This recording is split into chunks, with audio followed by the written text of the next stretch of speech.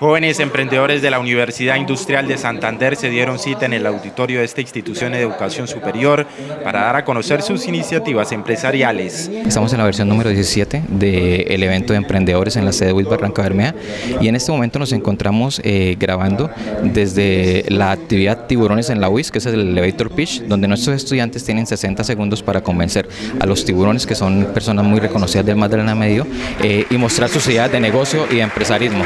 Ellos evaluarán y se premiarán las mejores propuestas. Y la invitación es para todas las otras sedes eh, y todas las instituciones de, educación superior para que nos unamos y podamos fortalecer el sector eh, productivo y podamos entrelazar la academia con las empresas y así de esa forma poder generar un emprendimiento verdadero que nos permita salir de la crisis en la que se encuentra la región y por supuesto generar innovación y por qué no que estos chicos y estos emprendedores puedan vender sus productos a nivel nacional e internacional.